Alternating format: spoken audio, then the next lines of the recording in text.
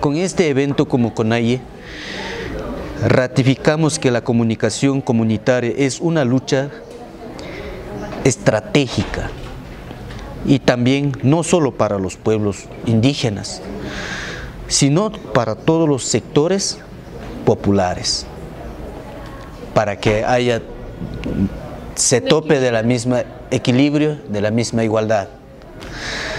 Y también además los diálogos que hemos mantenido, medios comunitarios y organizaciones nos muestra que quedan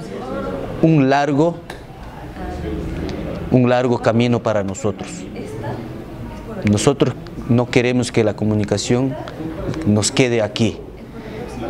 que se haya un largo camino indeterminado para poder seguir avanzando de lucha, para que podamos decir que el derecho